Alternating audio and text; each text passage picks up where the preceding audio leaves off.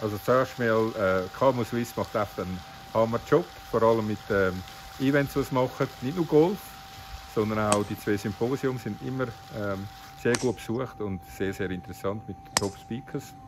Ja, und äh, das gefällt mir, dass man äh, dass, äh, KMUs aus der Schweiz sich zusammenschliessen und netzwerken und äh, ja, halt zusammen auch mal schöne Zeit verbringen, beim Golf zum Beispiel. Also wir haben, natürlich macht man sich immer Sorgen, vor allem wenn man Sponsor ist und, und dafür noch Geld ausgibt, oder? Und äh, es war trotzdem cool gewesen. Wir haben ähm, trotz dem schlechten Wetter eine, eine gute Stimmung im Flight.